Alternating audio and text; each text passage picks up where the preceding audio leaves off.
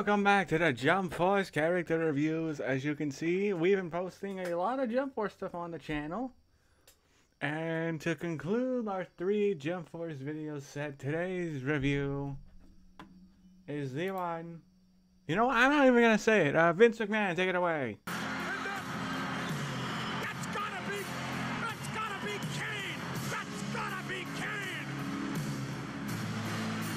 And with that introduction out of the way, let's talk about him.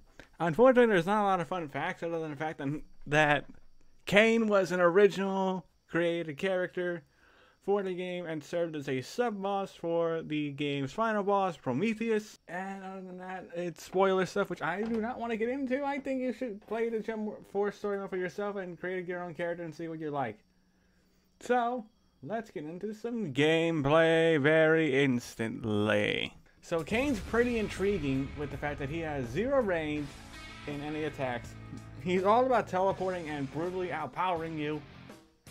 Such as with his first attack, Ignition Bullet, which is a dashing teleport punch, which is a great combo and knocks your opponent pretty far back. And I think it is a pretty decent maneuver at that. And up next, we have, unless I show Ignition Bullet off here again, which I'm not sure. I was talking to Chad about this at the time. We were talking about Kane and how intrigued we were by this character, especially when it came out. Up next is Planet Breaker, a 2 meter attack, which has Kane jump in the air, create an earthquake stomp, and set, and set up for an air combo if you prefer to play that style.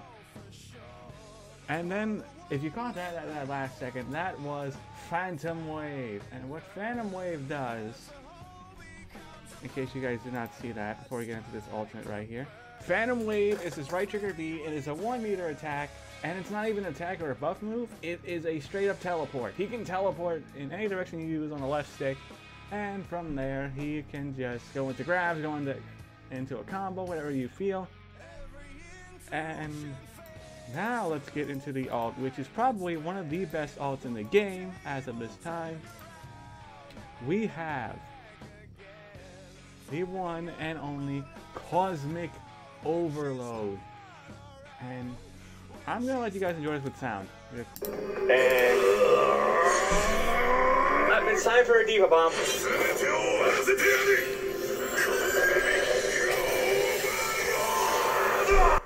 Yeah, I definitely kind of like. Okay, so I'm not kidding when I said that that's a that's a D.Va bomb essentially. In fact, here's a funny edit of that. Play the game.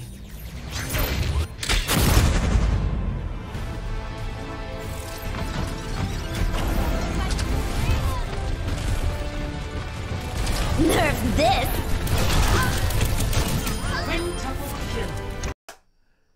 But basically, it's an AoE ult, which is the first of its kind. Which I think is pretty intriguing.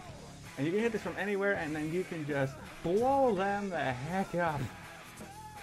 Cosmic Overload is a pretty hard ult to avoid, kind of like the world. The only difference is the world is very fast, while Cosmic Overload has this great giant blast radius. It is by far one of the best ultimates in the game, and it's no wonder you can't give your avatar this. Alright, now that we got the moves of Mr. Kane out of the way, why don't we get into some gameplay? And yes, the song I'm using for the gameplay is ironic on purpose. Okay, so as we mentioned before, Kane is all about brutally rushing you down and using Ignition Bullet, as well as his other teleportation moves to get around your opponent's defenses and range attacks such as against a Gaara or a Ryo Saeba player. And you can use Phantom Wave to go into a grab or Ignition Bolt, whatever you feel like. And Kane is just so brutally strong and extremely dangerous.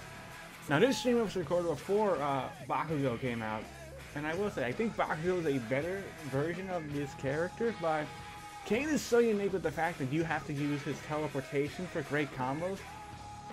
And not to mention that his alt, Cosmic Overload, is so devastating, it's so effective, it can hit multiple people at once if you know what you're doing, and it is just so much fun to use.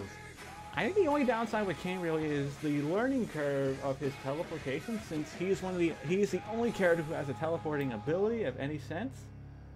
And as well as, if I'm being perfectly honest, I think Bakugo is superior to Kane because Bakugo has a little bit more range and effect than this, where Kane has kind of no range. Sure, you can use Ignition Bullet to get in close, but that is a much better combo area than it, than it should be used for a range attack.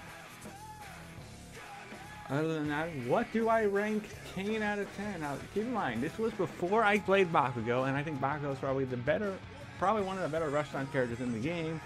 But Kane is just as effective, and if you don't want a DLC character who's a Rushdown character, then definitely play some Kane. It's going to be a bit of a learning curve, like I said, but I think Kane is one of the best characters for a Rushdown style.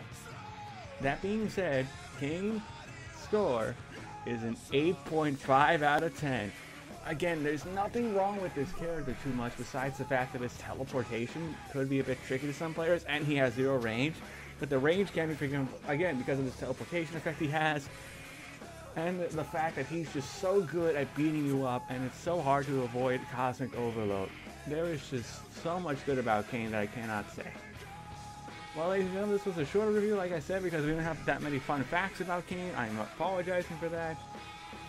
And I hope you enjoyed this review. Let me know what you guys think down below, and let me know what characters you do want to see, because I'm going to be getting footage tomorrow.